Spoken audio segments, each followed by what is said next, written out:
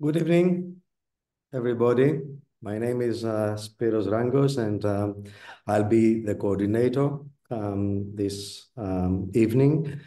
Just because um, our speaker is the driving force and the organizing power behind this meeting, Irini Fotini Viltanioti. Uh, you all uh, know her, I'm uh, pretty sure. Uh, but in any case, I'll um, say a few introductory uh, words about Irini. Now, Irini is an associate professor of ancient philosophy in the University of Crete, and um, she holds a PhD and a DEA in philosophy from the University of Brussels, and uh, her first degree was from the University of Athens. Now, she has um, published a book uh, which is uh, called uh, L'harmonie des sirènes du Pythagorisme ancien à Platon, uh, about uh, a, a, book that has been awarded also a prize as a, a best um, PhD thesis in Brussels, if I remember correctly. And she's also the editor or co-editor of Divine Powers in Late Antiquity, uh, published in Oxford by Oxford University Press in 2017, and also Logic and Exegesis, the logical reconstruction of arguments in Greek commentary in the Greek commentary tradition. Uh, that's to 2021. And uh, we expect uh, the New Light Neoplatonic Studies in honor of the 20th anniversary of the Bibliotheca Alexandrina to be published, or uh, actually it has already been published uh, uh, a few uh, weeks uh, ago. No, uh, because I, I see that's um, 11. No, no. Sorry? oh, logic and exegesis, yes, but the new the new light uh, was due uh, in no it is forthcoming it is forthcoming in spring it's forthcoming okay great now, um, it's quite clear that the initiative, the idea, and also uh, the huge amount of time and energy that has gone into uh, this Athens Alexandria uh, forum with uh, the lectures, with the conferences, um, um, is all due to Irini. But now, this evening, Irini is going to be our speaker and she will present uh, a paper called Plato in uh, Plotinus, apparently Ennead 3.4, on our allotted guardian spirit. There's a handout. Uh, sorry, uh, you, you don't hear me? There's, there's somebody who said that uh, doesn't hear me. Do, do you hear me? Okay, this. Um, okay, so uh, there's a handout which you may have uh, already downloaded from the site, but I can also uh, send to all of you uh, in the chat, right? So um, here at the end, uh, Irini, I think the floor is yours. thank you very much, Spiro, for this introduction, and thank you all for being here today. Um, there is a handout, as uh, Spiros has just said, uh, but uh, I am also going to uh, share screen. So please uh, um, bear with me for a moment. Um, so um, my topic today uh, will be the way um, Plotinus uh, interprets uh, Plato in Ennead 3.4 on our allotted guardian spirit. So uh, in Ennead 3.4, Plotinus exposes uh, his novel, uh, Demonology. And according to uh, Porphyry, this treatise was written um, soon after or as a result of the um, conjuration of uh, Plotinus' uh, guardian spirit in the temple of Isis in Rome. And here is um, how uh, the story uh, goes, according to Porphyry.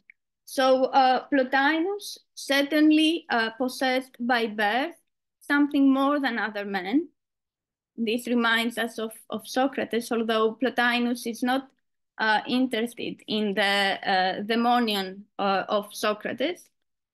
A certain Egyptian priest who came to Rome and made his acquaintance through a friend wanted to give a display of his wisdom.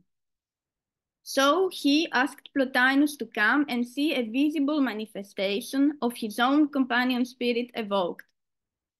Plotinus readily consented, and the conjuration took place in the temple of Isis. The Egyptian said it was the only pure spot he could find in Rome. When the demon was summoned to appear, Isaftopsian, which must be a technical term for that kind of, of rituals, um, a god came, Theos, who did not belong to the race of demones. And the Egyptian said, Oh, blessed are thou, who have a god for your demon, and not a companion of the subordinate order. So a few lines further, Porphyry adds, it was a reason of this kind that led Plotinus to write the treatise on our allotted guardian spirit, in which he sets out to explain the differences between uh, spirit companions. So uh, now, irrespectively of its accuracy, uh, this testimony preserved by Porphyry, which could go back to, to Amelius, who uh, we know uh, was interested uh, in, in uh, religious ceremonies and related stuff, may be understood. So this testimony may be understood as pointing to an attempt to provide some empirical support uh, for Plotinus doctrine in accordance also, as Mark Edwards has proposed, with Porphyry's uh, conviction uh, that no ritual uh, is necessary for attaining uh, eudaimonia. However, although uh, popular beliefs and religious beliefs do stand in the background, Plotinus' main concern in Ennead 3.4 is to ground uh, his uh, demonology not in ritual or in uh, experience uh, more generally, uh, but in Plato's authority. And for this purpose, Plotinus endeavors to reconcile uh, relevant Platonic references drawn from various dialogues, such as the Timaeus, the Republic, the Phaedo, the Phaedrus, the Cratylus, and the Symposium. So uh, my aim, uh, sorry, my, my aim today uh, will be uh, to reconstruct the way in which Plotinus uh, builds his innovative no doctrine by combining Platonic elements uh, drawn from these dialogues. To do this, I shall read selected passages which contain some of Plotinus' key ideas and the Platonic sources quoted or echoed in these passages in light of one another. I shall use the context and the connections Plotinus establishes between Platonic references as a starting point for unfolding Plotinus' interpretation. Uh, I uh, would like to argue that uh, a twofold concern underlies the common thread running through uh, what Plotinus takes to be the reconstruction of Plato's original doctrine. On the one hand, an expansive reading of Plato's demonology, uh, a reading that is, which reflects Plotinus' expansive ontology, the view uh, that uh, uh, the soul in a way contains all things, the forming principles of all things, and which anticipates uh, Plotinus anthropology in Ennead 6, 7, and 1, 1. And on the other hand, the view that a demon is inactive on the ontological level which it supervises and which is immediately inferior to the level of the demon's own activity. So our guardian spirits are inactive on our level so that we can be both responsible uh, for our choices and uh, capable uh, of changing them.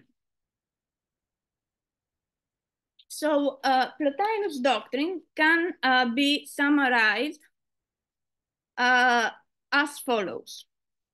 Our human intellect or higher soul is the residence of a demon who, however, can be succeeded by a demon of higher rank if we choose to live on a higher level, re level of reality than that of our lower soul.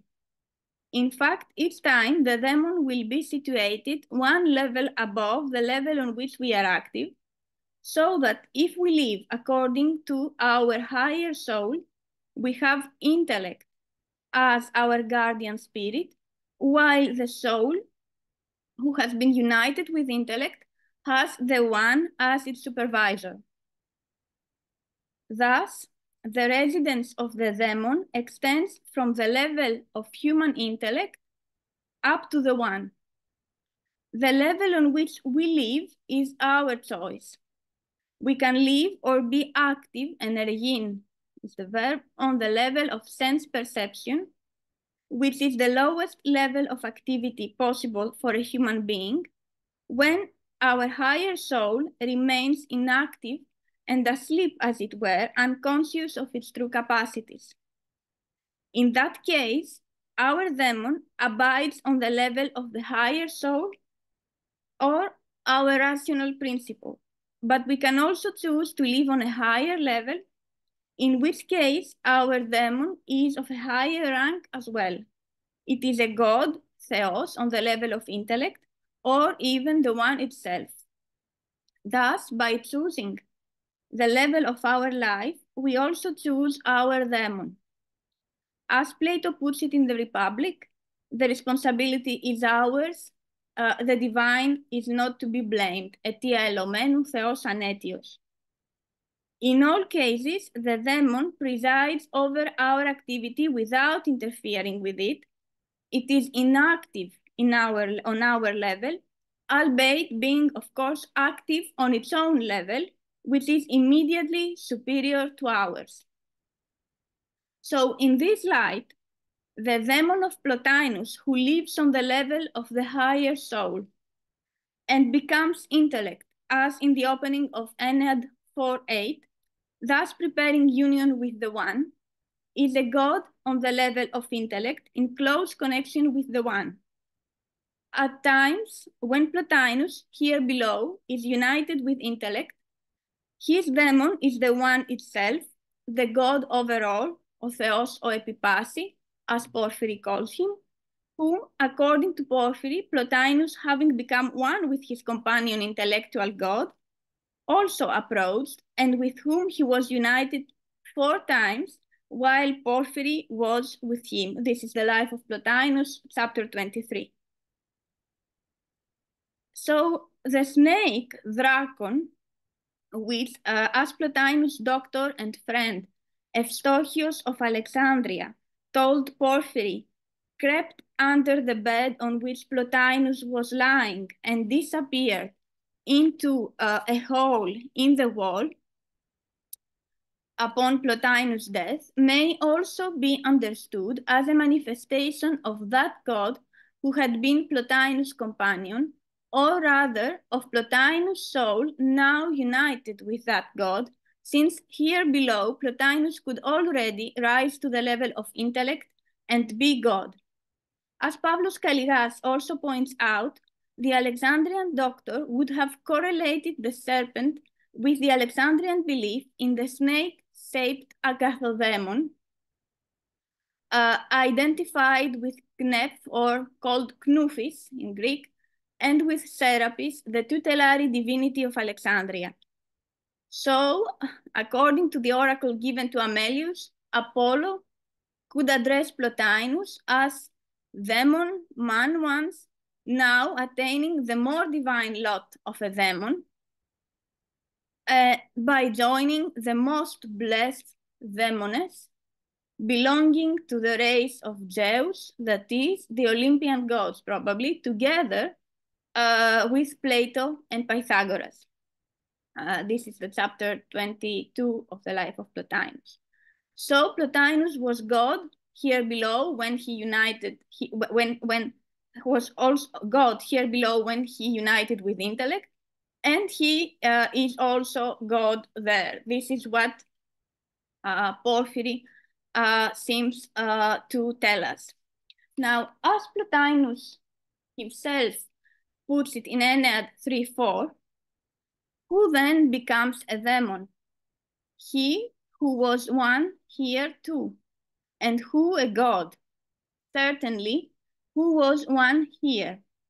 For what was active in a man, the energisan, directs agi, the man, after death, since it ruled here too, daphtha igumenon.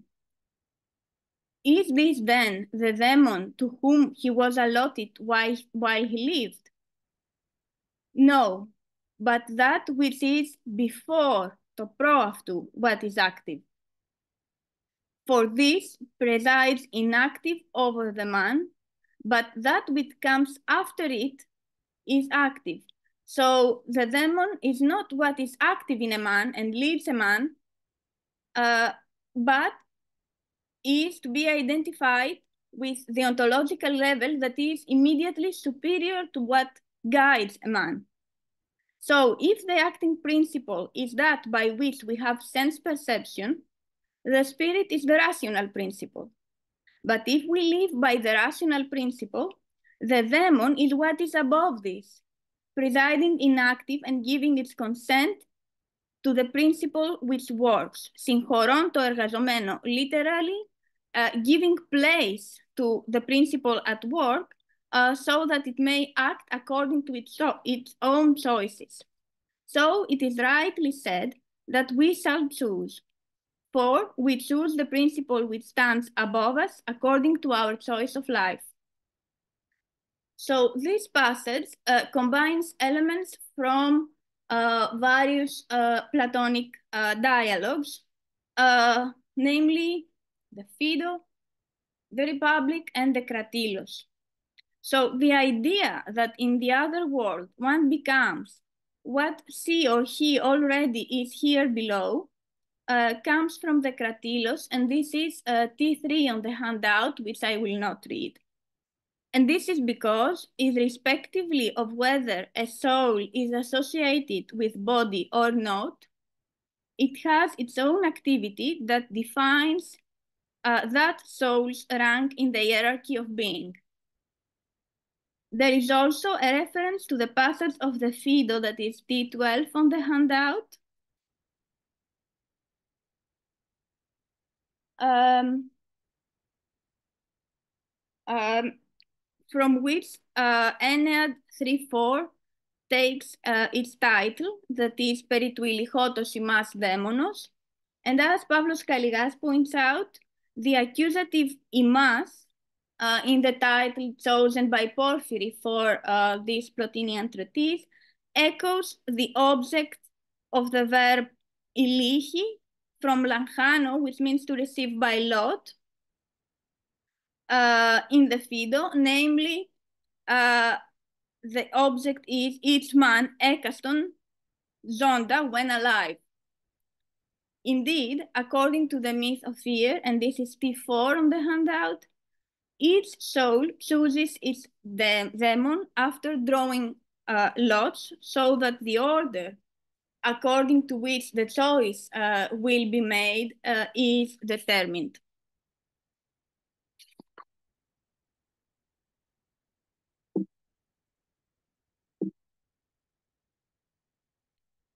Uh, so this is uh, the passage from the Republic.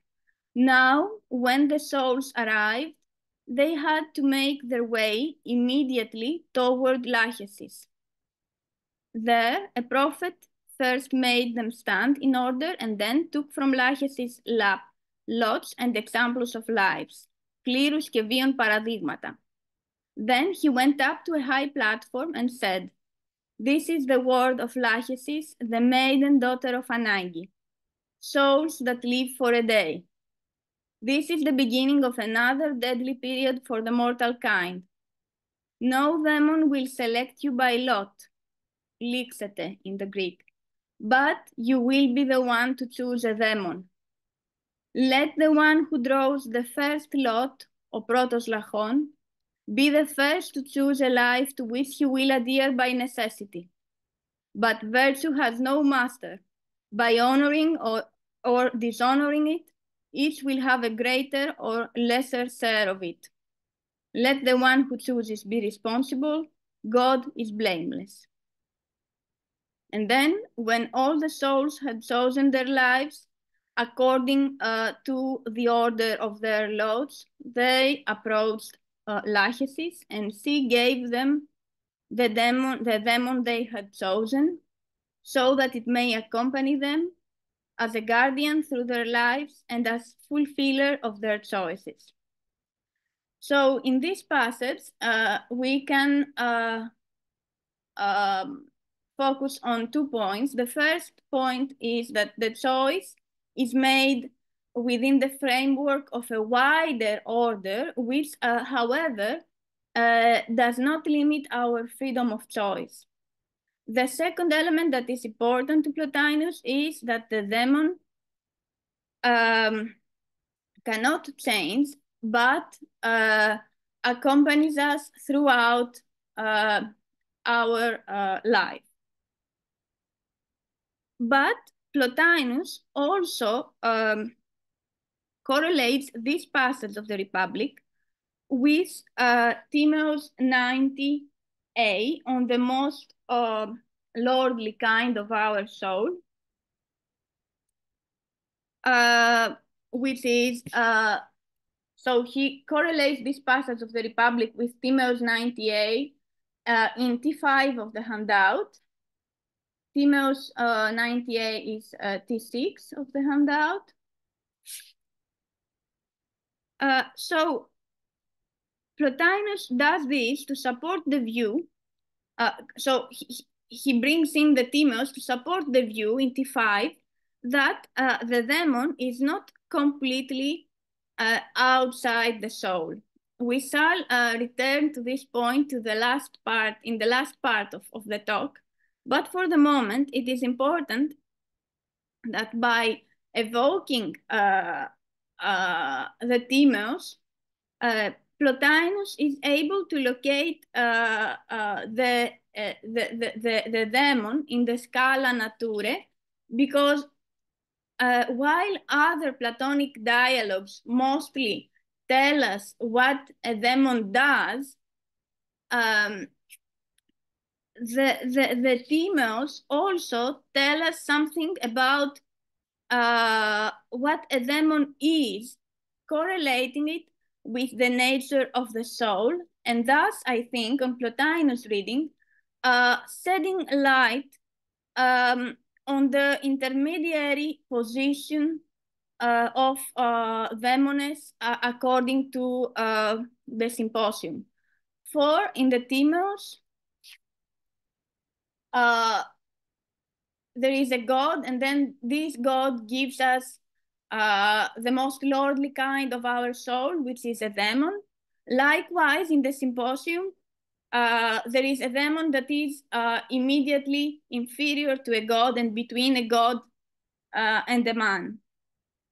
So let us start our more detailed discussion from uh, this very passage of the Timaeus in order to define uh, the place of the demones in Plotinus' hierarchy of being.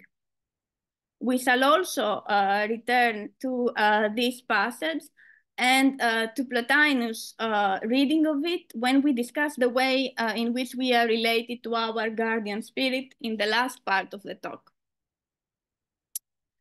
So, as we have mentioned, the lowest level possible of a demon is the level of the higher soul,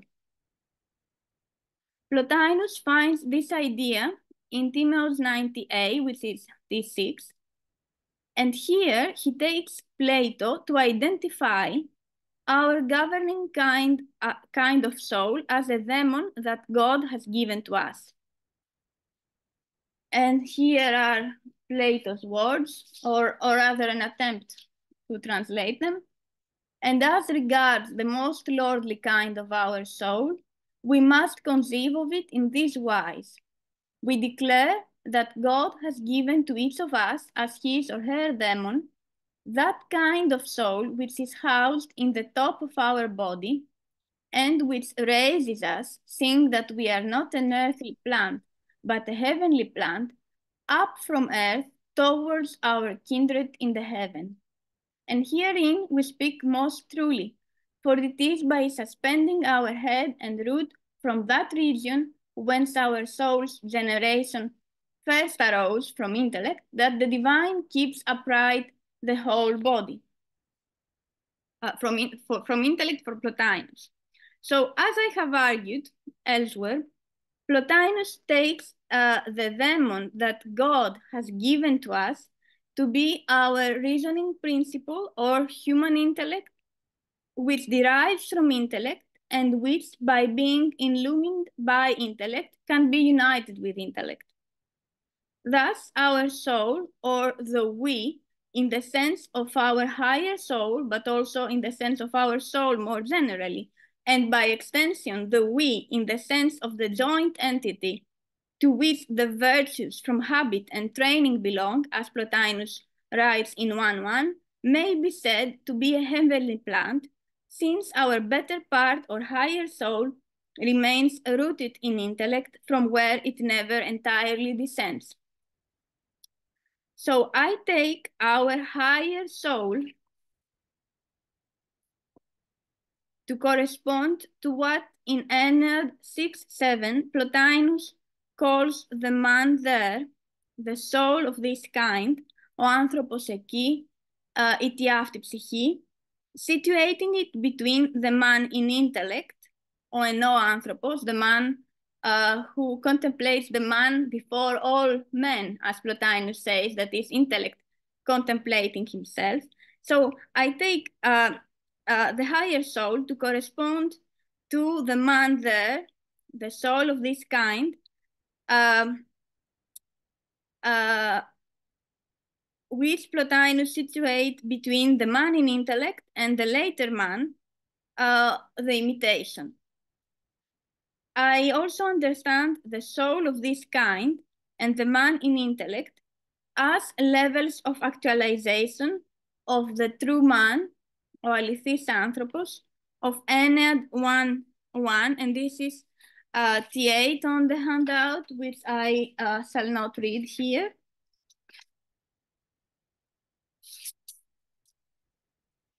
These two levels namely the soul of this kind and the man in intellect, correspond to demones of, of different uh, of different uh, kinds, namely to demones and to demones who are other gods, say.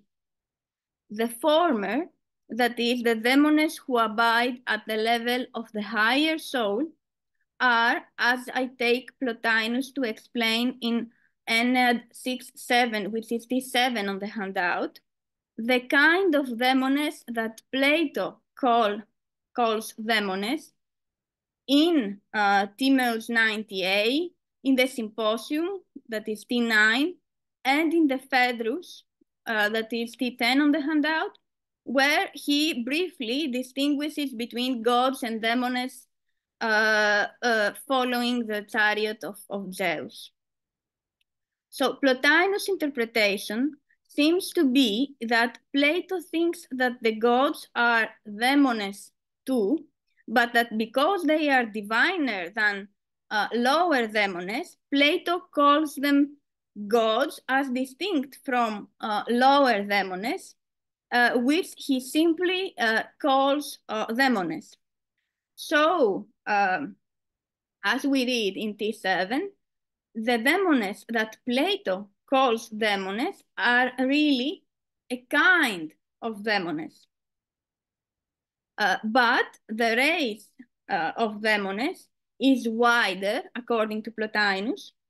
Uh, this is what Plotinus thought that Plato meant, embracing gods who are higher demones uh, at the level on the level of intellect, and the one uh, that is uh, the God overall.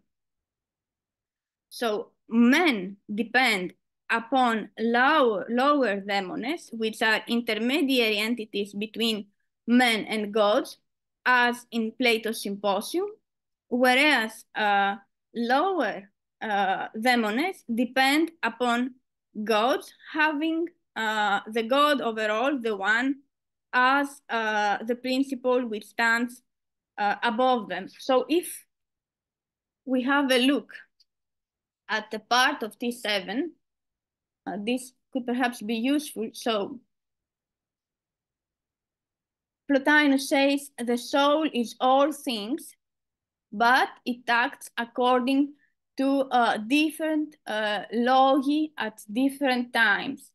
Um, this is an idea that uh, we also famously find in uh, 3, 4, and this is T, uh, T11, I think, on the handout.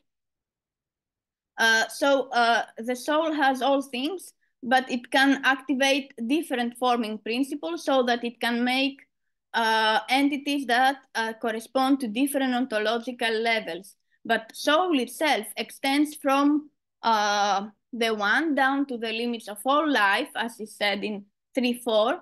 Um, uh, and this is what uh, Pavlos Kalligas calls Plotinus expansive psychology.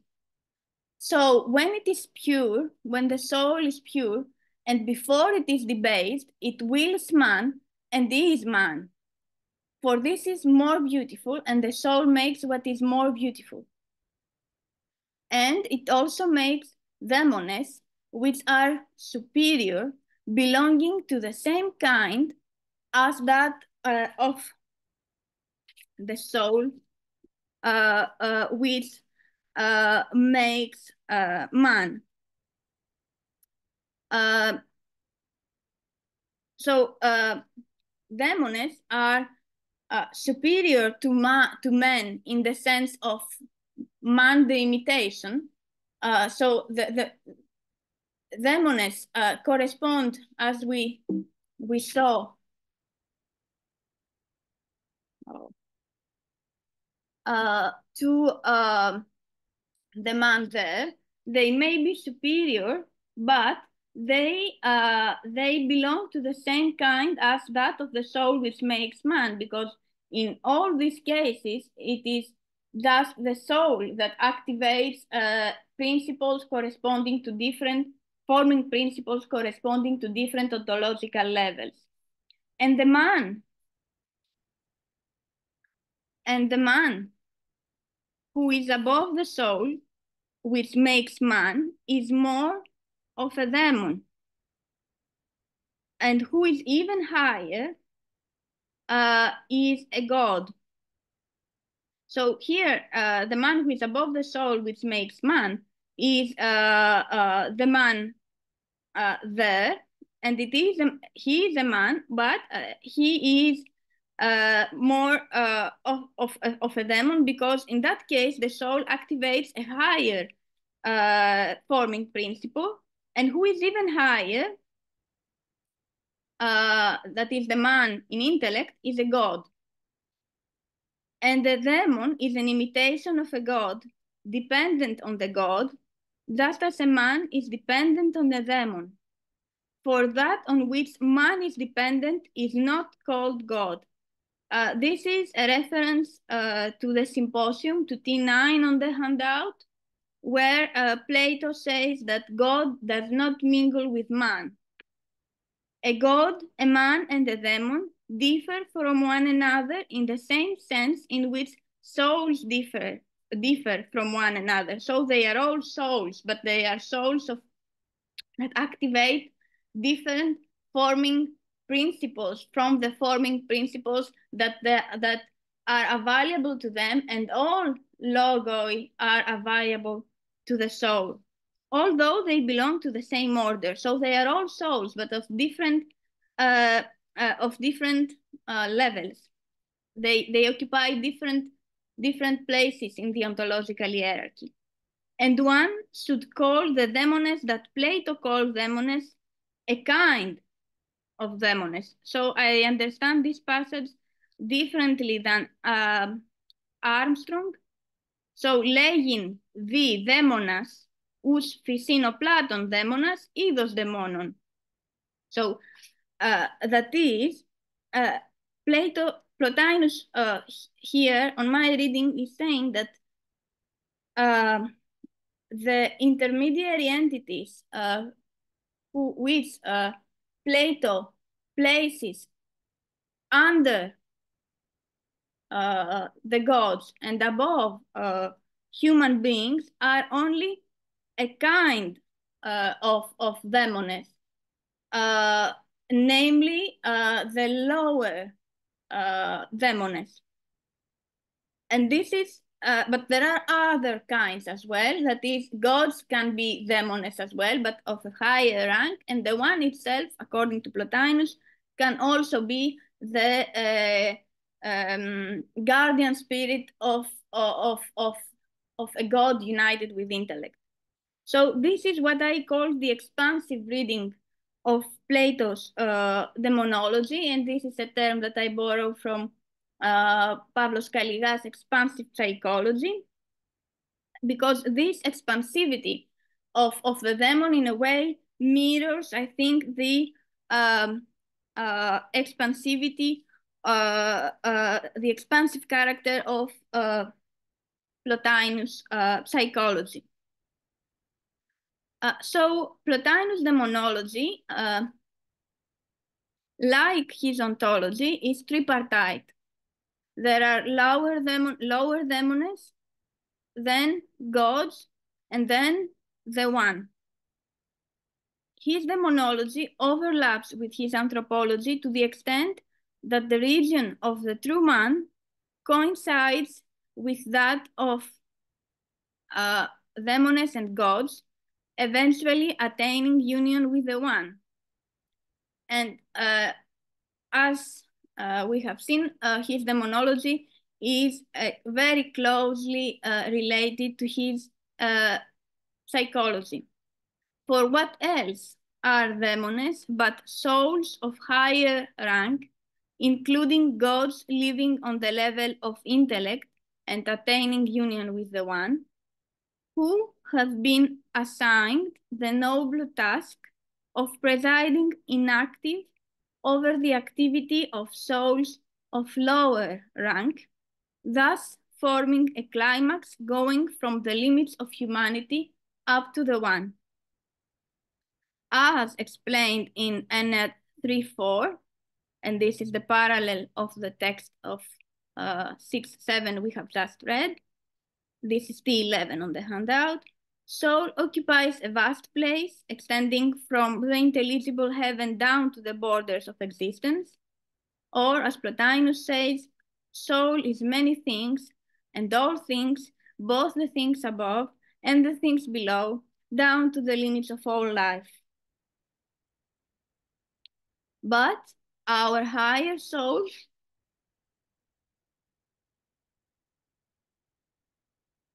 is heavenly because the man in intellect is what we most truly are. Just as a plant grows in the ground, we depend upon intellect. But while the roots of a plant naturally grow away from light, our true nature is the light of intellect, towards which we turn and to which we aspire to return.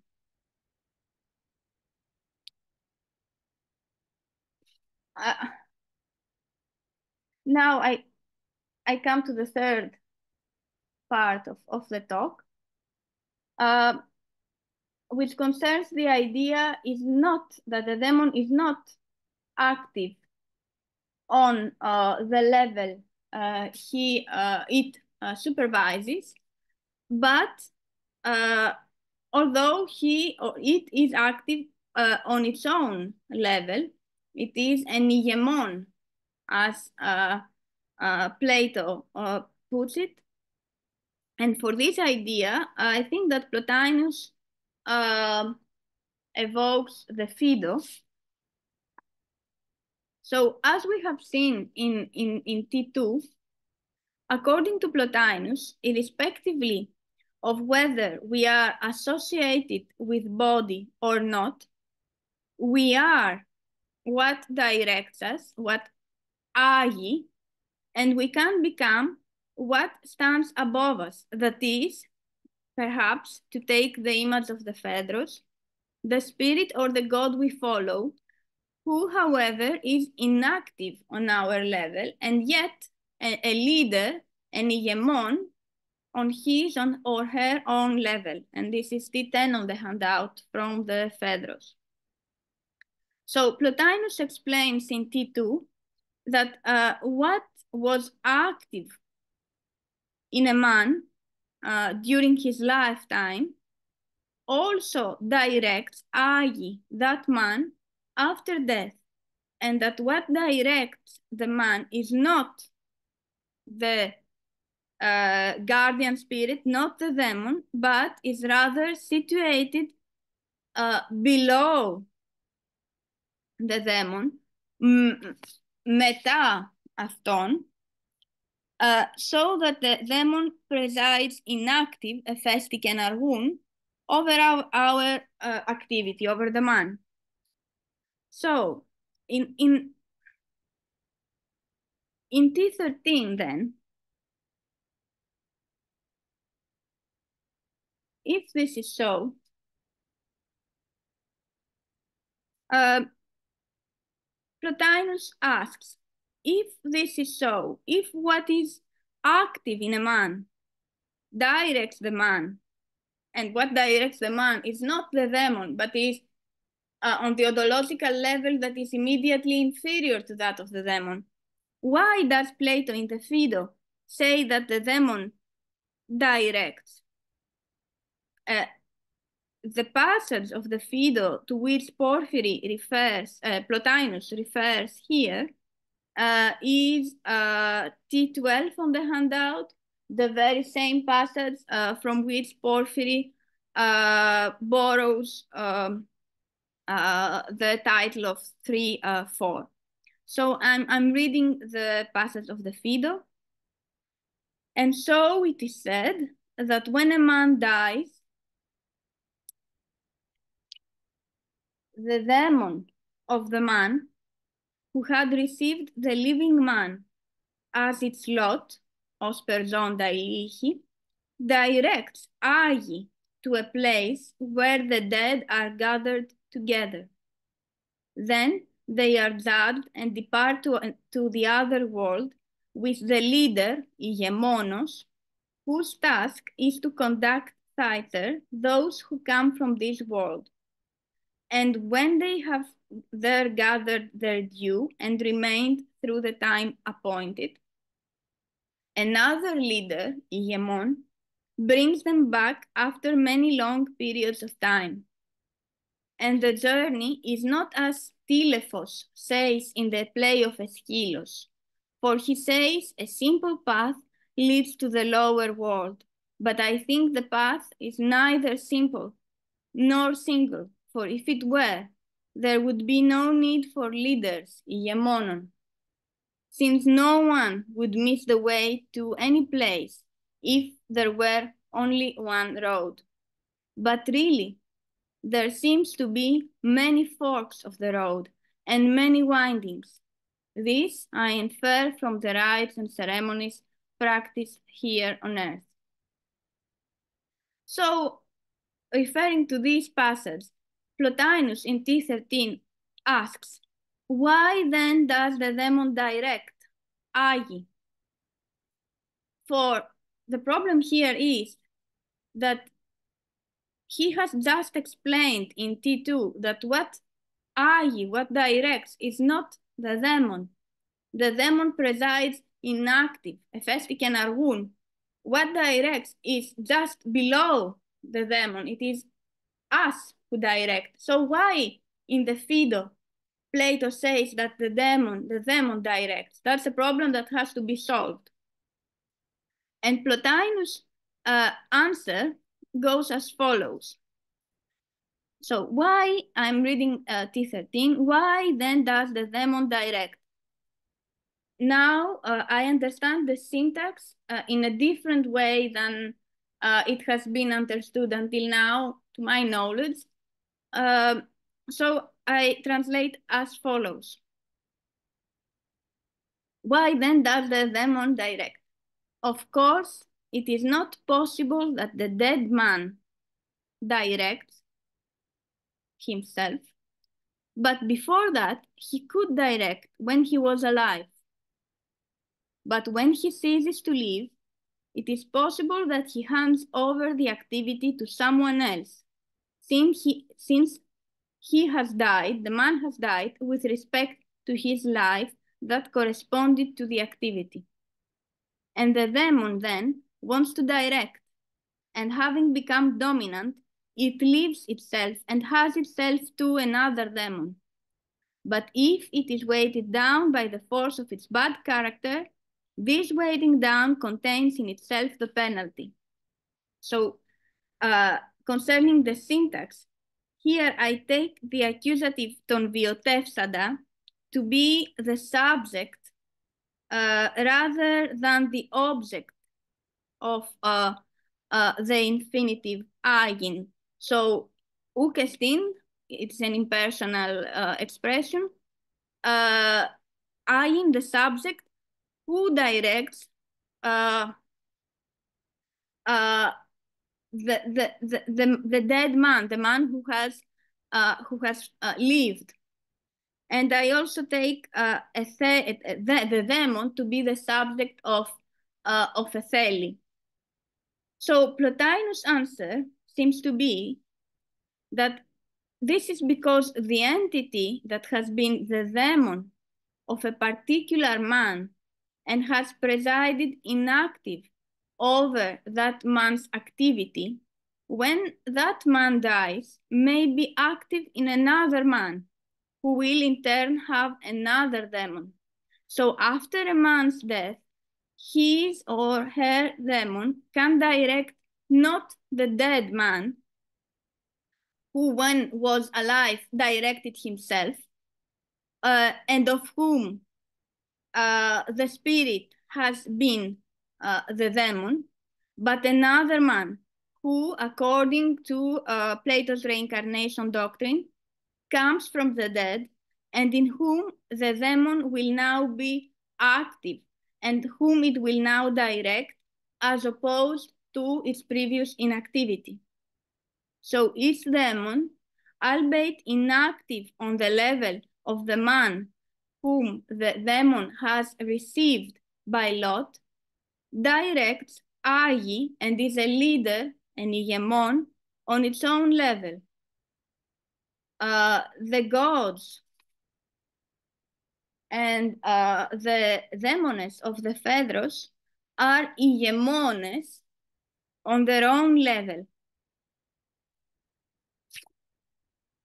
The dead who in the Phaedo depart to the other world are, according to Plotinus, as I understand him, souls that return here below uh, to this uh, lower world, which is the world that has many forks and many windings and where one can uh, miss the way, having previously been demones of other souls here below and inactive here below.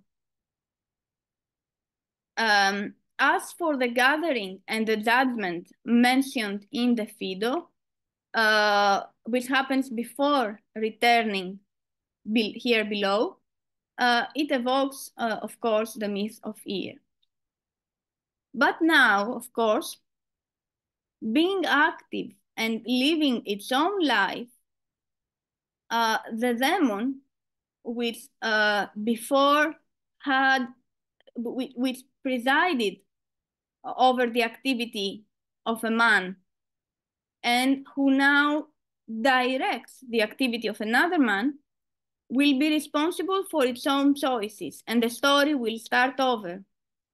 The mobility of Plotinus' universe and divine hierarchies is then such that as a result of bad choices, a fallen, uh, as it were, demon may end up being subordinated to a supervisor of a much lower rank in comparison to the rank that the demon once occupied.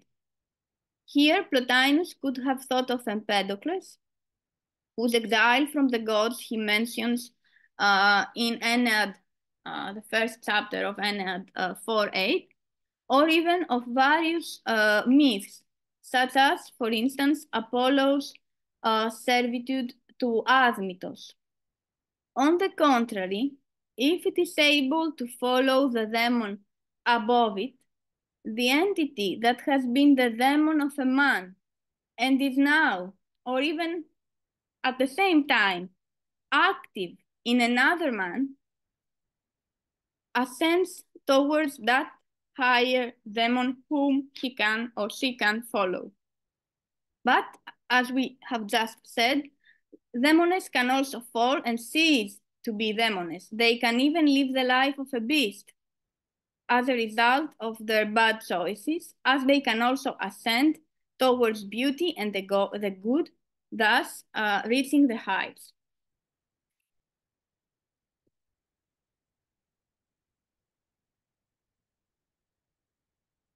And now I come to the, the last part of my talk. Um,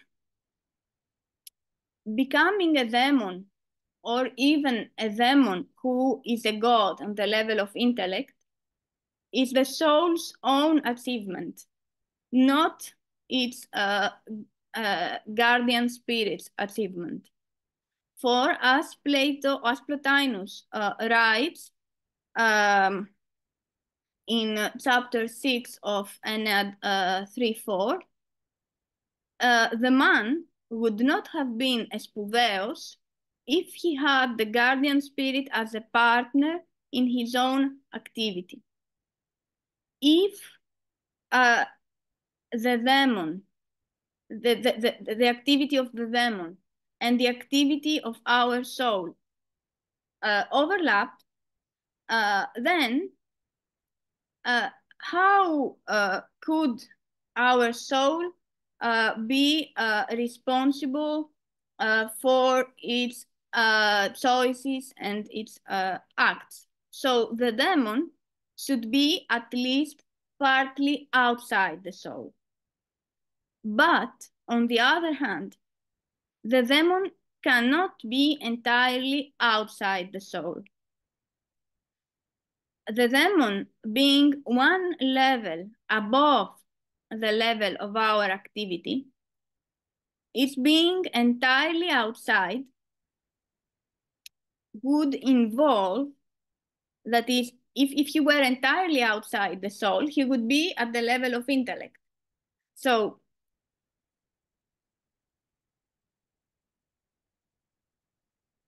see if if if we choose what is one level above our activity, above the, the, the ontological level of our that corresponds to our activity, and if the, the, the, the, the demon were entirely outside that, the soul that is at the level of intellect, then the lower soul could not participate in the choice of demon.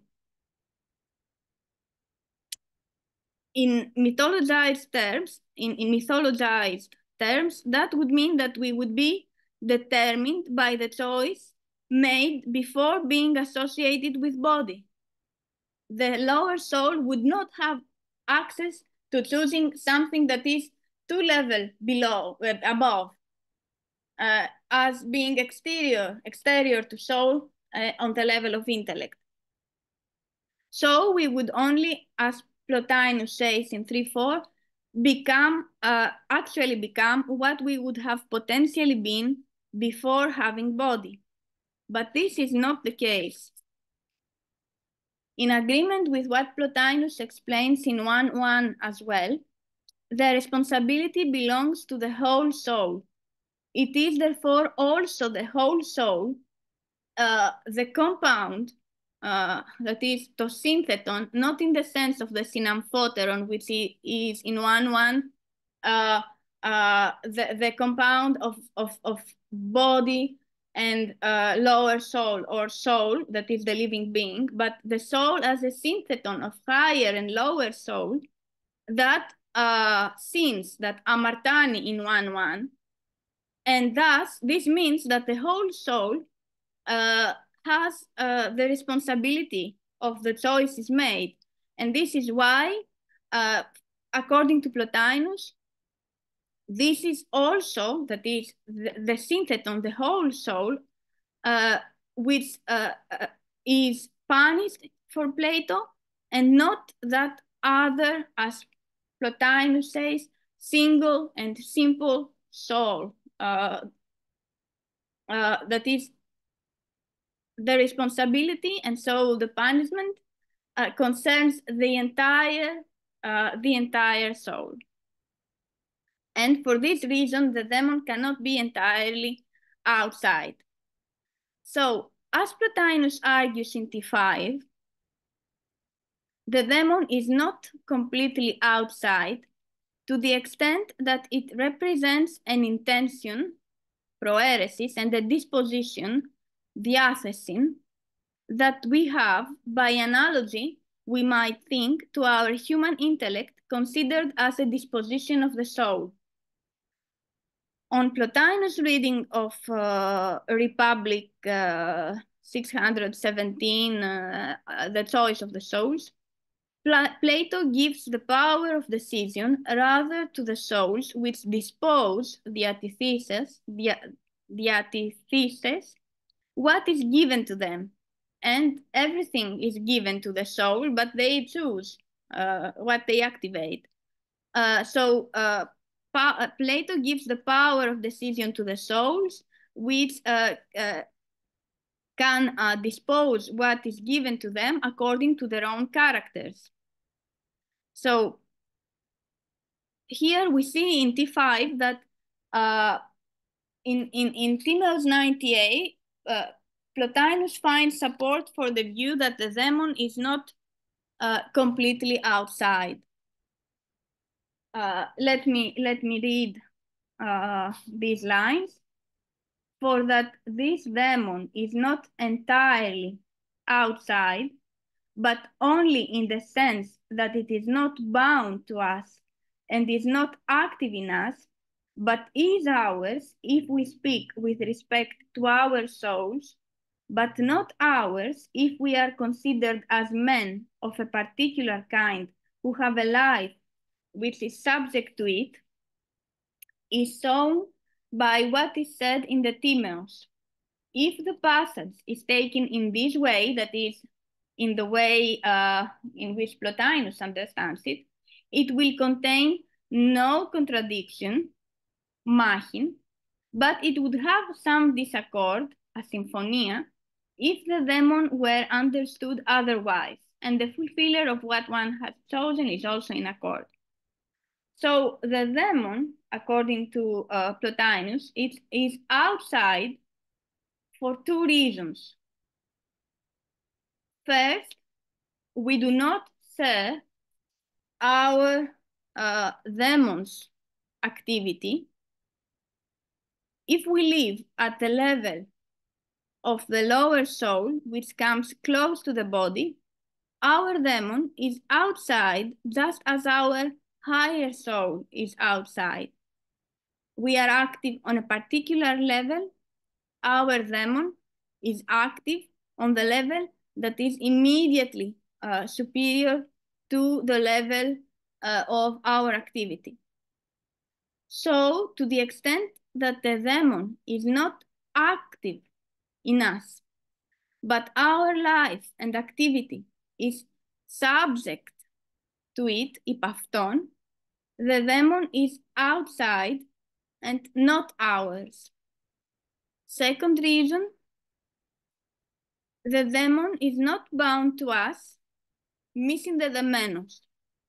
If we change the level on which we are active, if we change our life, the demon changes as well. Our human intellect is bound to the hypostasis intellect.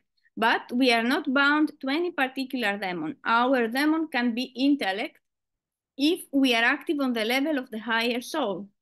Yet our demon can also be our higher soul or the one depending on our life.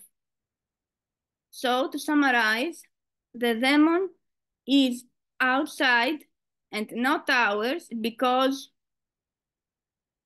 first reason, our activity in which our life consists is different from the life and activity of the demon and subordinated to it. And second, because by changing our activity, we also acquire a different demon. However, although no demon is strictly ours, our demon is in a way ours in meteros and uh, inside us in a way, because our soul can be in accord with our demon, just as our higher soul can be in accord with intellect. The soul, as we have already mentioned, has this disposition and it can activate it because soul is all things and it can choose which of the forming principles within it it will activate. All forming principles, all uh, logi, logoi are, as it were, bound to the soul, within the soul, and the soul chooses which one it activates. So the demon is also ours in this sense and not completely outside.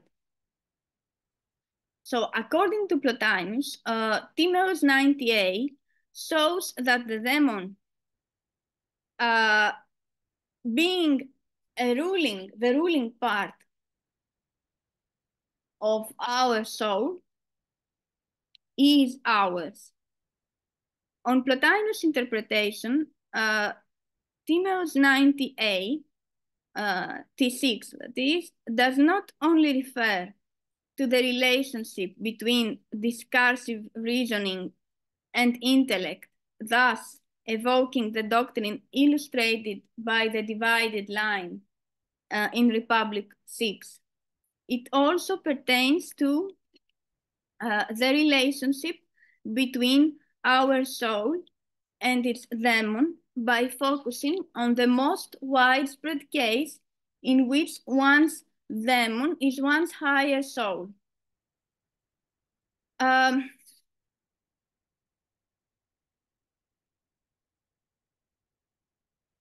if the passage is taken in this way, that is as Plotinus understands it, uh, then Plotinus says it will contain no contradiction, uh, Udemian machine, But it would have some disaccord if the demon were understood otherwise.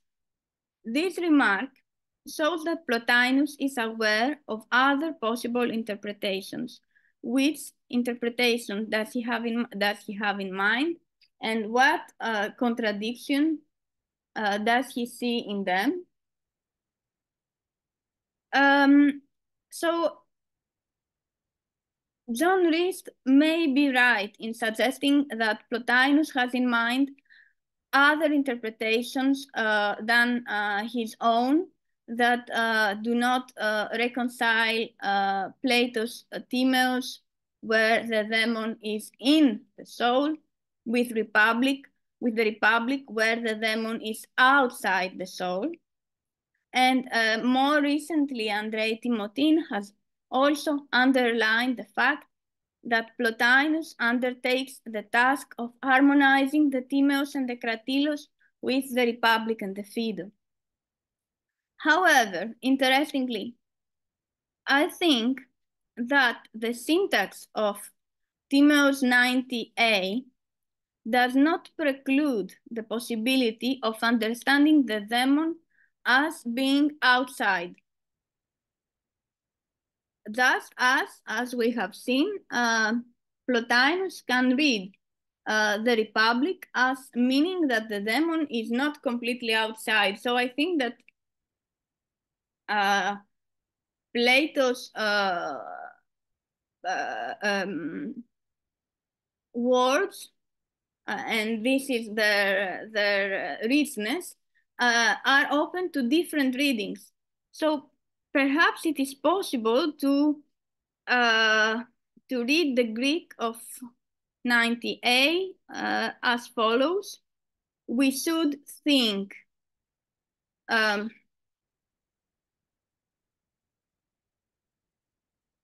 we should think of, of, of what is near the most lordly kind of our soul as a demon, etc.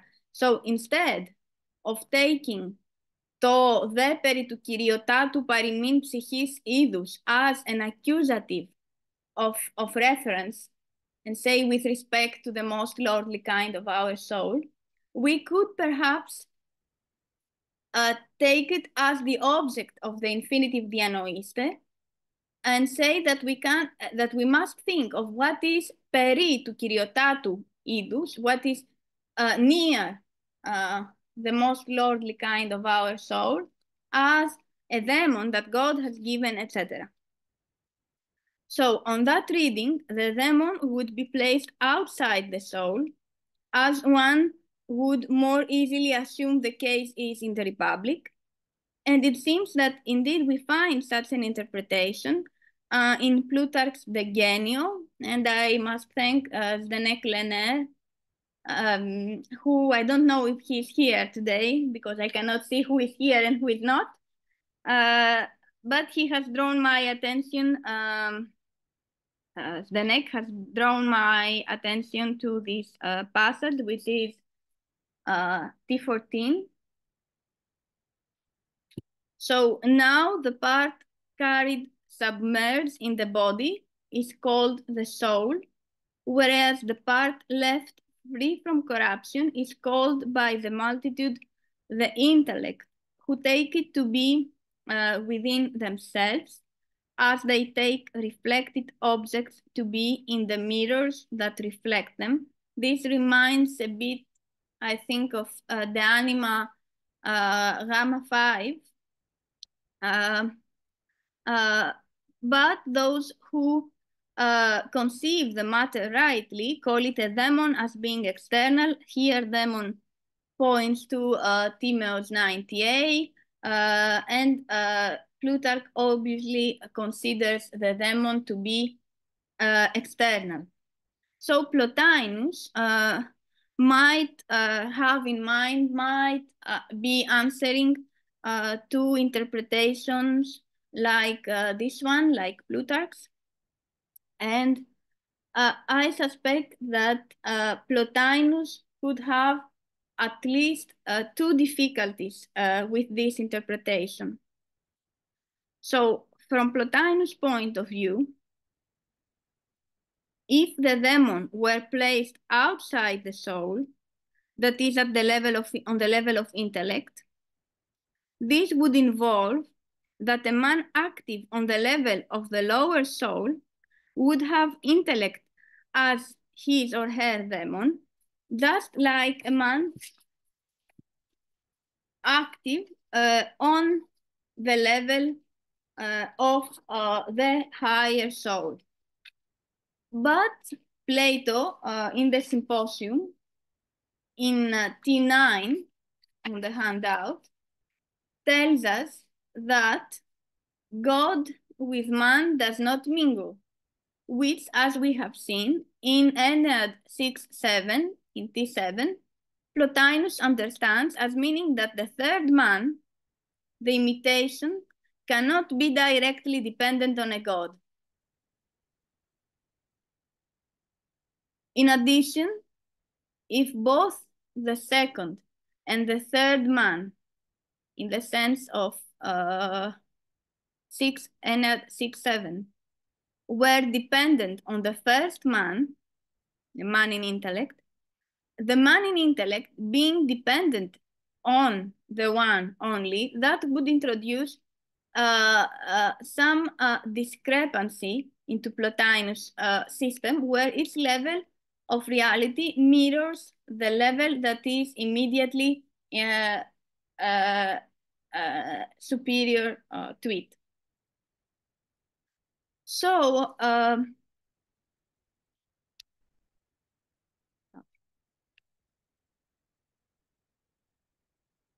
so Mahi, contradiction, uh, and a symphonia, this accord in T5, could perhaps be considered in respect of the internal coherence of Plotinus' own system. But above all, I think, uh, they, these terms point to uh, the coherence of Plato's doctrine as uh, reconstructed by Plotinus, as for example also uh, in Ennead 1.1 in chapter uh, 12, where we find exactly the same um, uh, related terms, the same combination, machunde for machi and a symphonie for a symphonia. So as we learn from Porphyry, Plotinus brought the mind of Ammonius ton Ammonium nun to bear on the investigations in hand. There is some discussion on how to understand the mind of Ammonius. This probably also involves Ammonius' philosophy without conflict, Astasiastos Philosophia. According to Hierocles, uh, probably having Porphyry as his source, Ammonius transmitted philosophy without conflict to Plotinus and to his other disciples. It is likely that as Yorgos Karamanolis has argued, Ammonius Sakas set to prove the agreement, the symphonia, between Plato and Aristotle with respect to their basic doctrines. It is also possible that as uh, Karamanolis proposes, Plotinus distanced himself from his master's approach to the extent that uh, he criticizes Aristotle when it is not possible to reconcile him with Plato. Uh, but as uh, Ilsetraut Hadot has pointed out, Porphyry did not agree uh, did not agree with Aristotle on every point either. So uh, Plotinus may have been an adept of uh, symphonia almost as much as Porphyry, that is symphonia between Plato and Aristotle. Whatever the case, uh, today's talk has been an attempt to show uh, how Plotinus could have applied Ammonius' requirement of non-contradiction to the interpretation of uh, Plato's own uh, writings.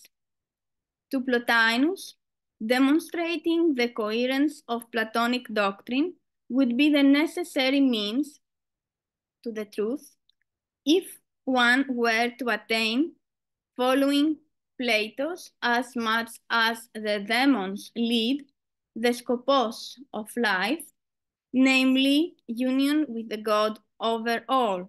So following Plato by uncovering uh, his doctrine would be uh, to follow one's uh, demon upward to the one. And this is also what uh, Porphyry seems to confirm when he places Plato and Pythagoras together with the Olympian gods, together with Plotinus on the level of intellect.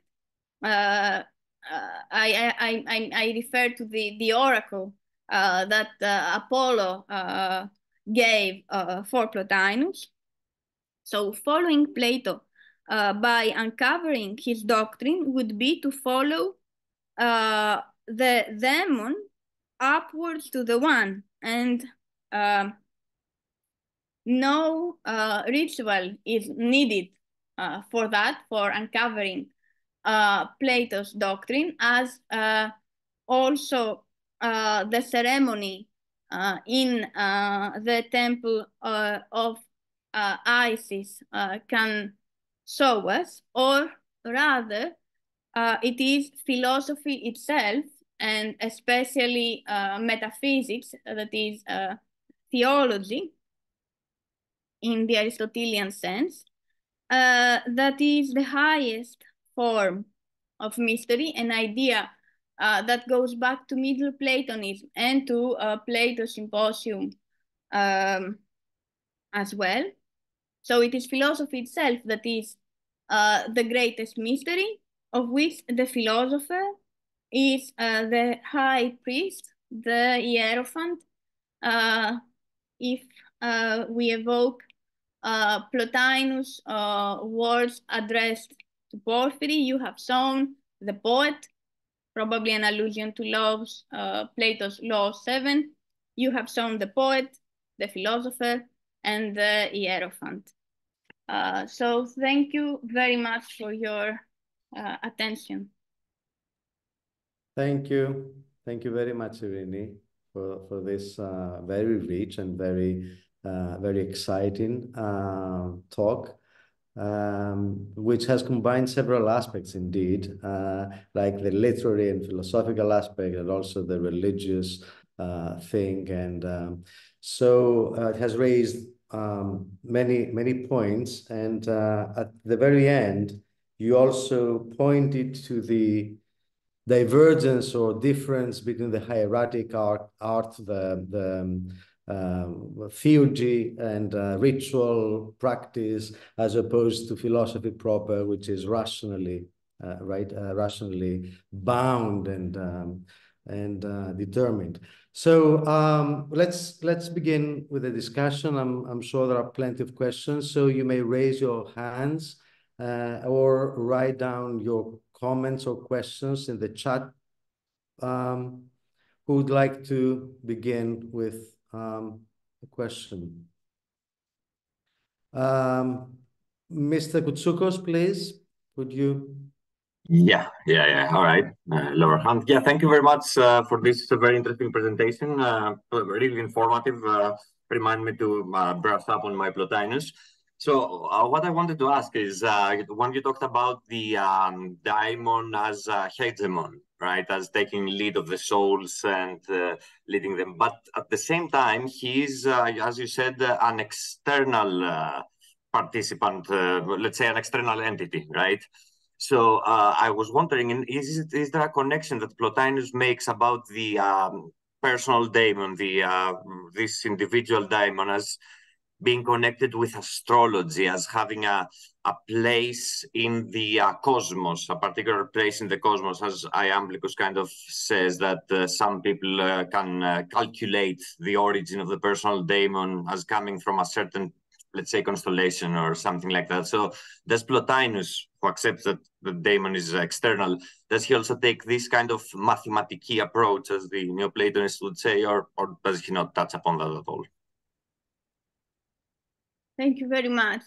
Uh, so um, I think that there must be an astrological uh, dimension to uh, to to this uh, term Iemon.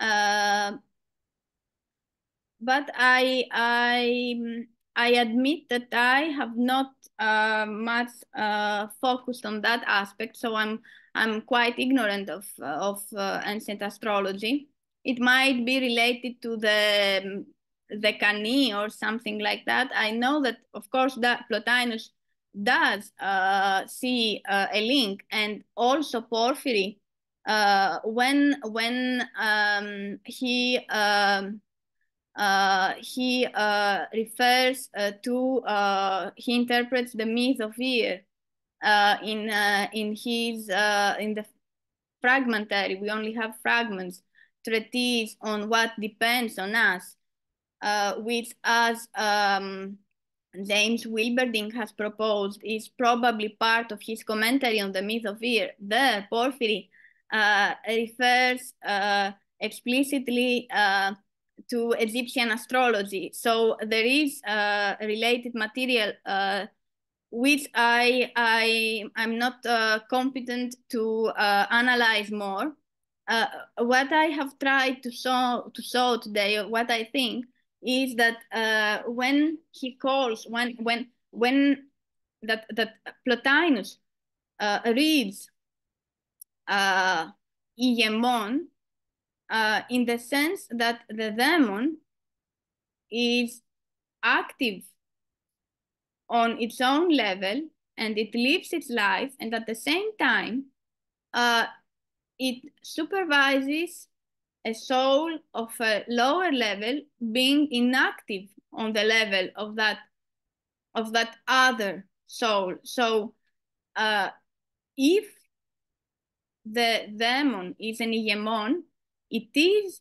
an Iemon uh, on his own level, on its own level, not on the level of, of the soul that it supervises.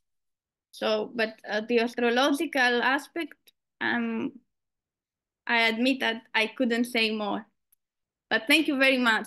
This deserves to be uh, to be um, developed. Thank you. Thank you. Thank you, Rini. Professor uh, William Altman, please. Yeah, I'd like to follow up on Marios's question because I think that if you're giving a lecture on 3-4, that just saying that you're not an expert in astrology isn't isn't adequate. Um, that that uh, in the sixth chapter of 3-4, um, I mean, the, the, word cosmos comes up a lot, of course, in the chapter, and you realize that that he's saying that the, there's a cosmos in our soul, and by the time you get, uh, I mean, if you look just for a minute at uh, at, at three, four, six, uh, say around twenty, when he comes to the Taiste Ano, um, and he makes the distinction between the various heavenly bodies, like the sun, the moving stars, and the fixed stars. You see where I am, I hope. Um, uh, in esteto e, e helio e alloton platomenon haide te aplane that, that that this is calling out for increased attention to astrology it seems to me because he's linking the daimones to heavenly bodies and since part of your argument involved using 90e from the timaeus if you go a little bit farther from where you were in the timaeus i mean you gave an alternative reading of the passage about peri uh, to kuriatato. But if you go just a couple of lines after that, uh, where Timaeus is talking up about prosteten and urano sungenean, uh, and uh, ura, that, that, that, that this is uranion, uh, that, that if you're really going to give an interpretation of 3-4, I mean, it seems like, correct me if I'm wrong, but what it seemed to me you were trying to do was saying that there is a let's see that that that Plotinus supplies a way of interpreting some highly problematic, mostly mythic passages from Plato's dialogues in a way that uh, harmonize, harmonizes them. Uh, and of course, sidesteps a thousand problems doing that. You know, is Timaeus Plato? Is the myth of Ur? You know, is that a myth? Like, what what level are we? All of those questions are kind of avoided. But what Plotinus really does seem interested in, and climaxes with it in the last chapter, is the cosmos. And the, and and and since you're quoting the passage about the soul is all things, that the cosmos is that the most outrageous claim in 3 4 is that the cosmos is in the soul. and, and, and, and, that, and that the daimones are a link, and I think Marios is dead right to point this out, which is that there's an astrological background to 3-4 that, that, that is not just simply detachable from it. That, that, that, that, that, that if one is going to give an interpretation of 3-4, one has to deal with the highly dubious about the cosmos, the relationship between the daimoni, uh, the daimonios, the daimonos, and the especially the the moving stars, which I don't even know anything about astrology either, but I know that your sun sign and where Jupiter and Saturn are in your chart is pretty darn important to figuring out what astrologers think the phony baloney explanation for your character is. And so I just I guess I would just just try to second Marios and just pushing you a little bit further to say that it's just not. I mean, if, if, if we're talking about Plato and we're saying that that that Plotinus gives an interpretation of certain problematic passages of Plato that harmonize them, that's one thing. But if our topic is 3.4 of the Enneads, then it seems to me you've got to be talking about stars, planets, and astrology.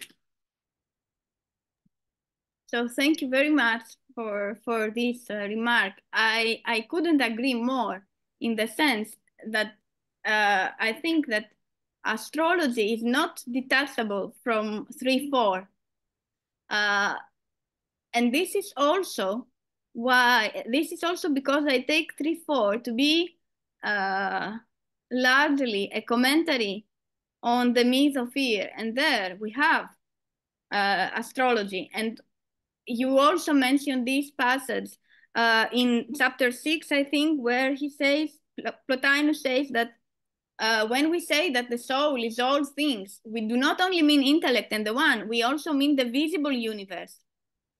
So right. there has to be, um, there has to be, uh, one has to take uh, uh into account um, uh, relevant astronomical theories uh, when um, one attempts to um, give um, a, a, a, complete image of, of 3-4. But what I wanted to do here is to see how um, Plotinus like puts together uh, these Platonic references to the demon.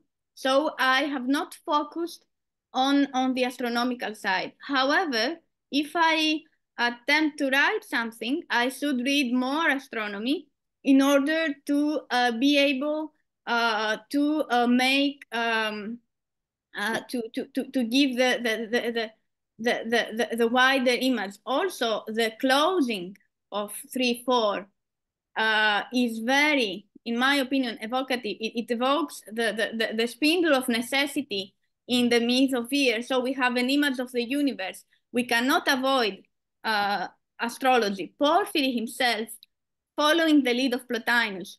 When he comments on the myth of fear, he does uh, um, uh, um, uh, uh, use a lot of, of astrology, uh, referring to the Egyptians, etc. But this was has not been my aim here.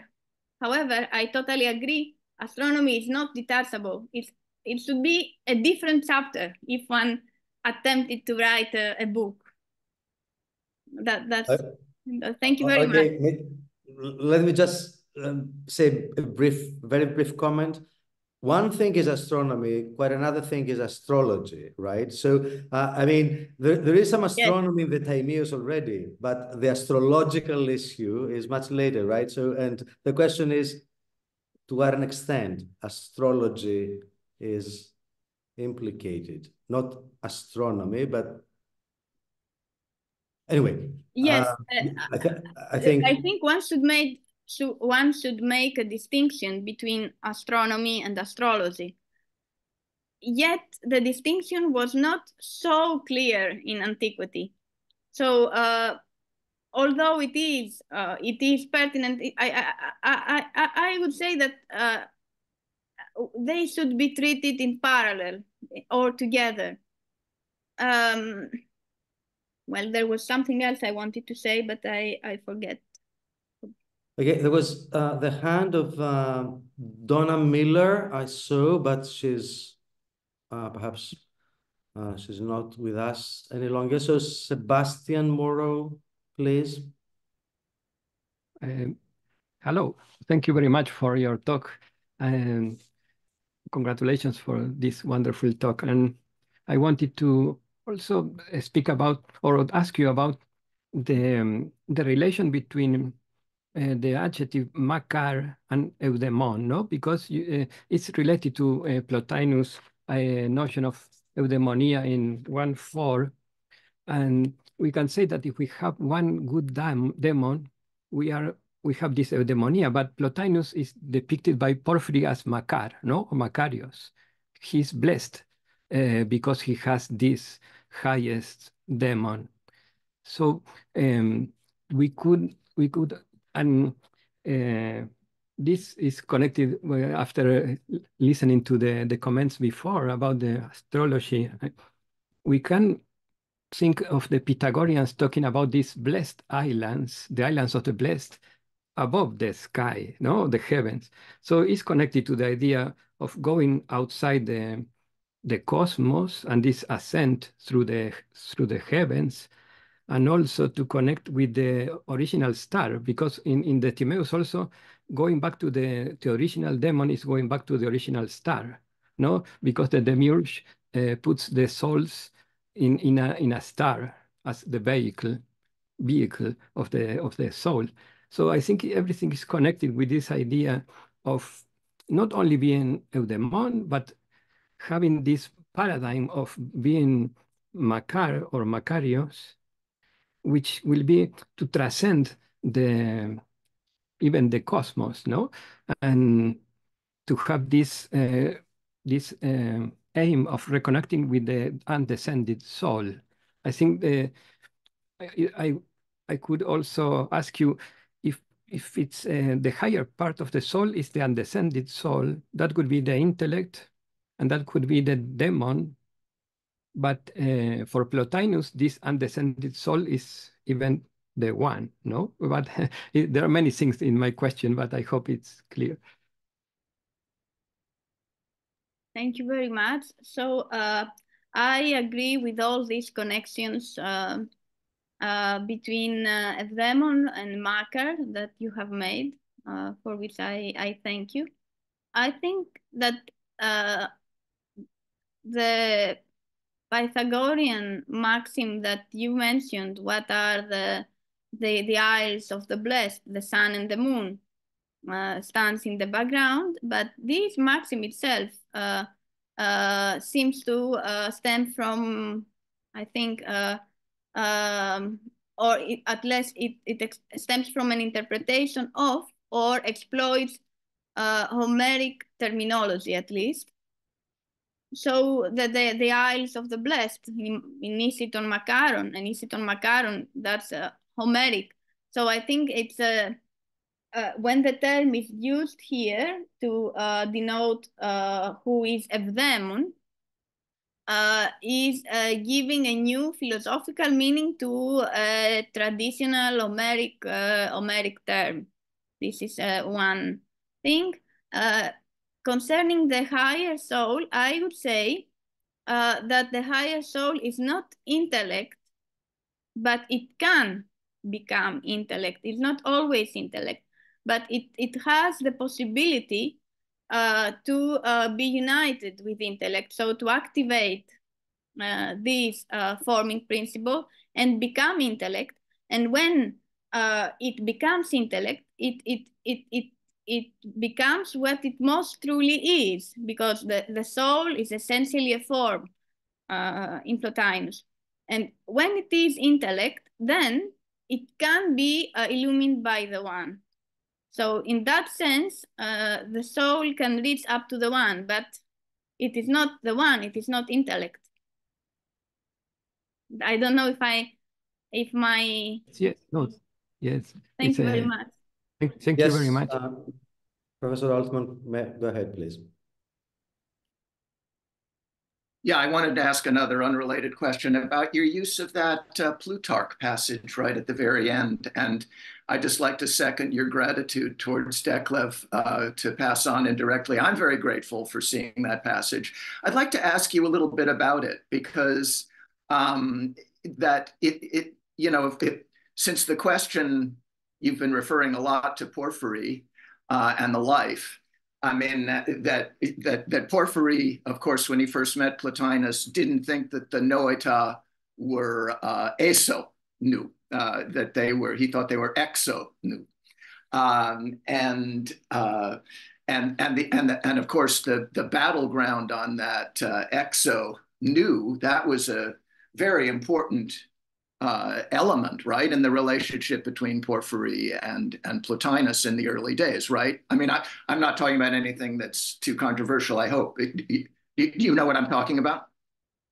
Yeah. So it's well. First of all, it seems to me that this passage of of Plutarch just puts it puts what I believe is the Platonic position really beautifully, uh, where he says that uh, the hoi polloi uh, are saying they're calling the nous within. Um, and of course, we're not really used to thinking, I mean, in other words, we're not used to thinking of Plotinus as a card carrying member of hoi polloi, right? We're used to thinking of Plotinus as a pretty esoteric, complicated fellow who is thinking in a boldly original way. But on this basic question of whether this thing is aso or exo, it seems to me that this Plutarch passage is aligning Plotinus with hoi polloi. In other words, not just about the daimones, but saying that nous is, is eso, uh, or rather that the hoi polloi think that nous is eso, whereas the speaker here in De Genio is willing to say, well, only in the sense that the image of a thing is in the mirror. No, the actual thing is exo nous. In other words, this passage seems completely antithetical to the spirit, as I understand it, of Plotinus. And I'm curious what your thoughts are on that.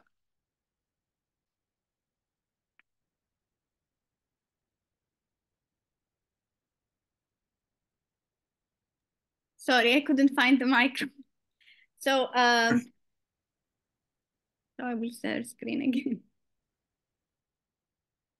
Um, so I think that, so Plutarch is a middle Platonist uh, who holds uh, this view which other middle Platonic philosophers also held before Plotinus. And uh, it seems that there were also some people uh, at that time of Plutarch who uh, thought uh, that uh, intellect, nous, uh, is um, inter interior in a way in us. So I think that Plutarch is trying to say that if it is, if it seems to be within us, it is because it is a reflection of another kind of light that is outside us, like a Tadavian. Uh, and I think that Plutarch may here have also uh, in mind uh, uh Aristotle, where he in in in De Anima uh, uh, Gamma Five, where he uh, refers to active and passive intellect, saying that um, active intellect is what makes colors visible in the sense. So it is, it, it, one may think that so in, in, a way, the, the intellect that uh, uh, or hoi polloi take to be uh, inside is only a, a reflection uh, and which is only a reflection, would in a way uh, evoke uh, passive intellect, whereas intellect, true intellect, is outside. But then uh, it, it seems also that Plutarch associates this demon, this uh, intellect, which is uh, the true one and which is outside, with the Timaeus 90a, uh, which is of course a passage which, to which Aristotle can be close. Um, uh, saying that this true intellect, which is outside, is uh, a demon. So I suspect that because Porphyry says that uh, different authors were read in Plotinus seminars, uh, he doesn't mention Plutarch. He gives some names, uh, but many other could have been uh, studied in, in the school. So perhaps, perhaps um, uh, Plotinus uh, had in mind these passages and in a way or other similar um, uh, views and perhaps in the school he tried to say why why the demon is inside, uh, as he also tried to show, or he asked Amelius to write uh, uh, against Porphyry, why um, the forms are uh, are uh, inside and not outside intellect. So uh, there may be a tension between previous Platonic, Middle Platonic views there and uh, Plotinus' uh, novel Neoplatonic uh, interpretation. Um, um, well, I don't know if I have uh, answered to your question or if there is something else that I could add.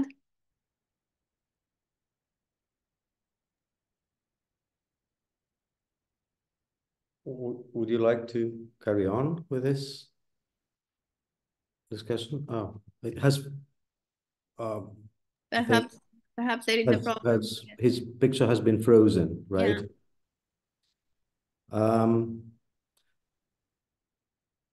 okay, um, is there um, any other question? Let me just in the meantime raise a more kind of general question myself. Um, to begin with, you uh, make, I mean, you presented the distinction between the uh, visit to the Iseum and uh, where uh, there was a particular uh, spirit and uh, particular seance or something like that. And uh, you kind of uh, uh, Porphyry says that Plotinus exposed his views about uh, about the nature of the daimones after this kind of activity, and now you come and you say there's much more to that, uh, you uh, Plotinus is interested in combining and uh, various passages from the Platonic dialogues and bring them into harmony. And so the main thing is coherence, that, that his main driving force, right? But do we have to see the two motivations as um, uh, contradictory or opposing one another rather than having both um, uh, a way of, of explaining Plato and also a way of explaining uh, experience such as the religious appearance of a spirit in a in a in a temple or whatever. I mean, do do we have to to to bring the two approaches as wide apart, or is there a room for a convergence between the rational demands of the mind and the, the demands of actual experience uh, in, in a religious context? Uh, thank you very much. So um, I think they are not necessarily opposed, not necessarily uh, uh, mutually exclusive. Now, uh, uh, the, the, the story that uh, Porphyry tells us uh, clearly happened before Porphyry's uh, coming to Rome because 3-4 is number 15, I think, in the chronological order. so this is a story that Porphyry heard from someone else, probably Amelius has been proposed, who we know whose interest uh, in uh, religious uh, uh matters uh, uh, we we know. So we, we, we, we do not really know if we have no I, I, I, we have no reason not to believe this this uh, um, uh, anecdote that uh, Plotinus wrote um, uh, the treatise after uh, this episode, but uh, there is nothing that makes it necessary to believe it either. So we, we, we, we do not really know. I wouldn't have anything against uh, against uh, putting the two aspects uh, together. I think that uh, Plotinus' main priority uh, is to uncover uh, what he takes to be Plato's original doctrine, and the the the fact that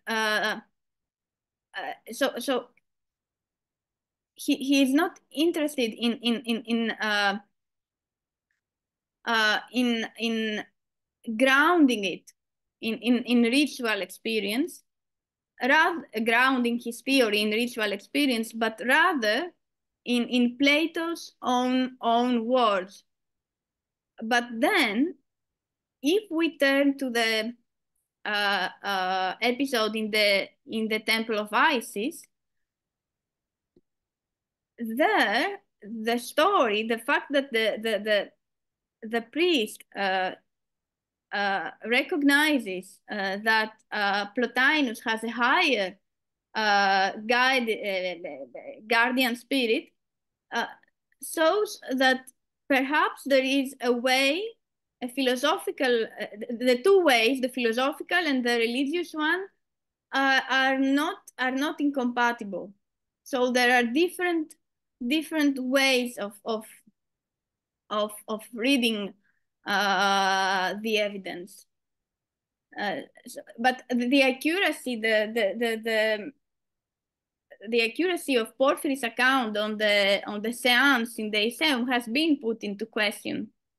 Okay, one one may doubt every every kind of thing, but uh, uh, uh, on the other hand, we do know that uh, Porphyry, I mean, Plotinus wrote down things as they occurred in the classroom. So there was always kind of a temporary aspect. I mean, something that was immediately um, uh, urging, uh, urgent, uh, something like it, it, was the general question, and there was a, a particular perhaps uh, event that uh, brought up the need to investigate and write down. So I think that the two might not be contradictory, but fine. Um, no, it is not impossible. It is not yeah. impossible. I think I, I, agree with you.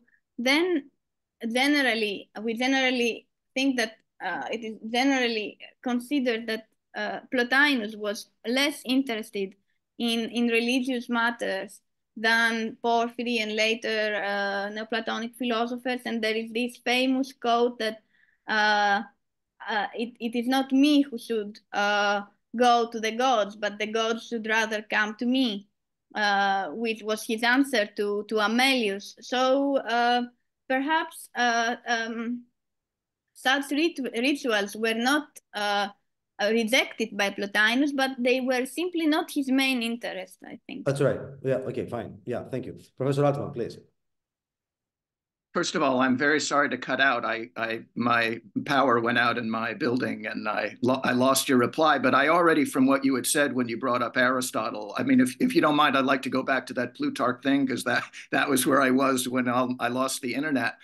Um, that, you know, to say that, Plut that Plutarch's a Middle Platonist and then to use Aristotle, I just uh, uh what what what what suggests to me, and part of the reason I'm grateful to you and Deklev, is that this seems to me to be another reason for thinking that Plutarch read Alcibiades Major um, with those disputed lines in it, 133 C8 to 17. You know the passage that I'm talking about? Because you've got the reference to the mirror here, and you've got the reference to external here. And so it doesn't seem to me that we're looking at some middle Platonic deviation. And since your paper's really about Plato, it seems to me, for reasons that we discussed earlier, is that really what Plutarch is doing is channeling those controversial lines. And as you know, some people have claimed they're a Neoplatonic addition. I think that's ridiculous. I see them more as a Neoplatonic, Neoplatonic deletion. In other words, they are very much in harmony with what Plutarch is saying in De Genio He's saying that that that the mirror that that the mirror in us, uh, well, as as he puts it, uh, that that hotheos is tu ento hemetera psuche beltisteron. In other words, that the God that's external to us is clearer than the mirror in our soul. Um, and so uh, rather than bring Aristotle into this, I just would suggest that that that what Plutarch is really channeling is Plato, uh, and, and and a passage in Plato that has, as it were, gone missing. Do you have any thoughts about that Eusebian edition, by the way, or whatever people like to call it? I'd be curious. Uh, so, thank you. Concerning, I, uh, okay, you are not frozen. Uh, concerning the first Alcibiades, I'm not I'm not sure I, I recall the passage that you mentioned, but uh, there there is a passage on mirroring uh, the eyes that that mirror. This is the passage you are referring to. It's it's right after that passage. In other words, he's dealt he's dealt with the mirror in the eye, and he's just gotten up to a passage that's very friendly to a Plotinian view, which is that theon and phroneson are the same thing. And then there are these missing lines that we know from Eusebius, and I think uh, maybe from Stobaeus, but certainly from Eusebius, that that that talk about that that, that, that talk about the mirror, our mirror as as being less clear than the external God that is caught in it. So it, it's it's really an aso exo battle. It's the aso exo battle, which in our present manuscripts of Plato seems to have been won by the aso people by getting rid of C8 to 17. But those lines are there, and there's been a pretty healthy debate about whether they were in the dialogue. So that's just a passage you might be interested in looking at if you're at all interested in this Plutarch De Genio passage, which again, thank you so much for bringing that up. That is gold for me. I really appreciate it. Thank you very much. I, I should have a look at this passage of Alcibiades first, but um, yeah.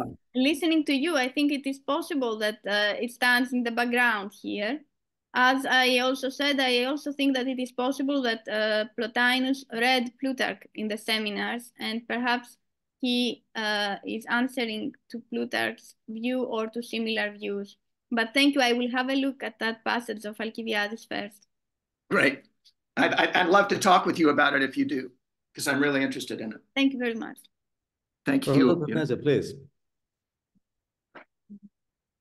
Yes, I am, and I, am remi uh, I'm remembering that also in the Alcibiades, uh, Plato mentions the inner man and the external man, that we can live according to uh, our inner man, that is the soul, and the, the, real man is our soul inside. So there is also this idea of inner and uh, external kind of life that is connected to what you say that is very important in your in your uh, paper about the activating different principles in us. No, that that I think is is very important that we can live uh, changing our own ontology. No, living according to to this inner person activates us in a way.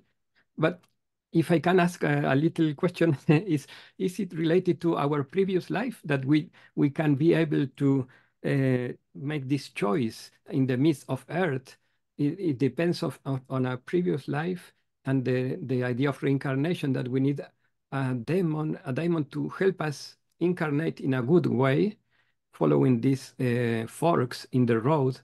And this will help us to, to be able to develop this uh, prince inner principle if, if, we, if we are uh, in different lives in a way uh, developing this inner soul. Yes, thank you. I, I think it is related to uh, reincarnation, but not only to that, in the sense that if we uh, have a, a human a human form and we are, um, uh, yes, if, if we are human beings, but uh, it is possible for us uh, to activate the forming principle of a beast and live the life of a beast while being uh, human this means that uh, our uh, guardian spirit in this life will be at the level of the higher soul. Uh, uh, not not even that, because we, we won't live at the level of the lower soul, but even lower at the level of a beast. And this probably means that uh, when our soul, uh, when when we die with respect to the present life, and uh, we come back for a new uh, human, for a new life on Earth, that would be the life uh, of the beast to which uh, our activity corresponded in the previous life. So this is um, um, the, also the topic which we, with which uh, Porphyry deals in on what depend on what depends on us, and there he gives the solution of, of two choices one choice that is made before uh, before being associated with body and the second choice that uh, is related to our choices here below uh, while we are associated with body. So I think that the it has to do with reincarnation, but not only with that. That is, uh, if if if if we live at the level of the higher soul, uh, this uh, does not only mean that uh, we uh, shall be uh, reborn uh, at a, a, corresponding level, it also means something about our life here and now. Thank you. Thank you. Um, okay, there's, uh, is there any other question? Uh, I don't see any raised hand now and nor um, anything on the chat. Uh, just um, let me say a, a, brief, a very brief quote. What I mean, uh, you, you emphasized um, Plotinus' um, desire to go back to Plato's original doctrine and to show the coherence of that doctrine, right? But don't you think that, uh, I mean, even the, the two things, the, the, the question of truth, of what is the case, and the question of what Plato says are for Plotinus one, two aspects of the same question. So he goes back to Plato because truth is there, rather than because he wants to defend an authority, right? Would you agree with that? So, I mean, Absolutely. even Absolutely. okay. Yes. So even even beyond uh, wanting to defend Plato, he wants to defend truth. truth. Okay, yeah. And this is also and, and that ties very well with even the exper experiential aspect of uh, of uh, the daemon. I mean, because it's something that can be perceived in particular. I mean, that, that doesn't contradict that that line of thought. I would I would think. No, uh, I think I, I I agree with you. So I think that uh, demonstrating the coherence of of Plato's uh, uh of, of Plato's writings, and thus defending Plato's authorities is not Plotinus' uh, end in itself. It is not an end. It is a means to the truth. So uh, in a way, understanding Plato uh, is something that we have to do in order to uh, reach the truth. And this truth has also, it is not just uh, something that has to do with uh, what we know, but also with what we are. So uh, attaining the scopos of life. That's why I think that uncovering Plato is almost following the Plotinus demon in a, in a mm -hmm. sense.